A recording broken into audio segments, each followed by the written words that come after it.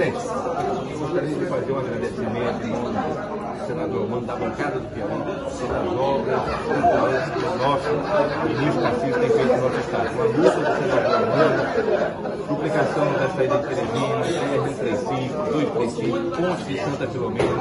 Próxima semana, presidente, iniciaremos o asfaltamento na cidade de Cristo, as laterais da Seja Marrom. Isso tudo que o trabalho do nosso e do nosso querido senador Mano em grande parte das emendas vem de vocês, das bancadas de comissão, sem as quais não poderíamos realmente anunciar qualquer obra. Só agradeço aos aí os trabalhadores aqui também, tá certo? Por esse recurso. E obviamente você sabe que está em boas mãos, né? Está com São Tarcísio. Então, São Tarcísio. Vamos é estar lá brevemente para inaugurar essas obras, né?